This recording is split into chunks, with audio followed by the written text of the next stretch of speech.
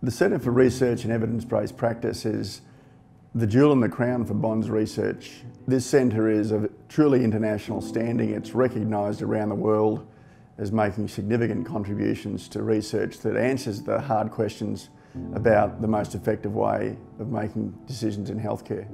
I've been involved in uh, research on acute respiratory infections and in particular um, the extent to which antibiotics help cure them. Um, and we're, we're looking at, at the specific issue of antibiotic resistance. And we're very anxious worldwide about antibiotic resistance. We think that um, this is likely to blow into a very serious problem worldwide, not just for Australia, but everywhere.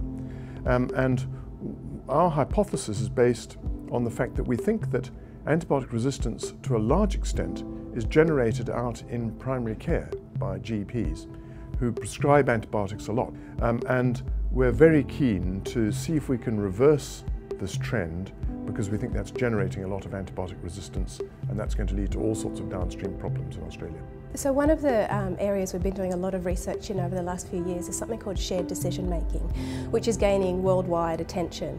And shared decision making is a move away from the old style of um, the doctor or a clinician telling the patient this is what treatment I recommend, off you go.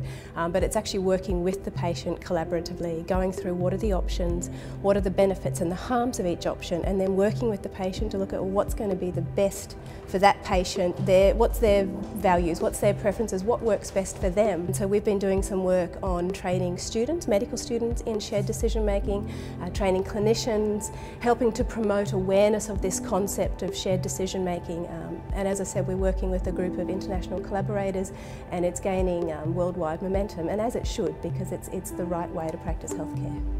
The premier journals that we would have published in is a lot of the work has been published in the British Medical Journal known as the BMJ but the um, area of waste in research which we documented a couple of years ago um, this year there was a, a, whole series of six articles that was published in um, the Lancet which is one of the major um, general medical journals in the world um, so we led that series um, of articles that documented the 85% waste in research over $100 billion a year.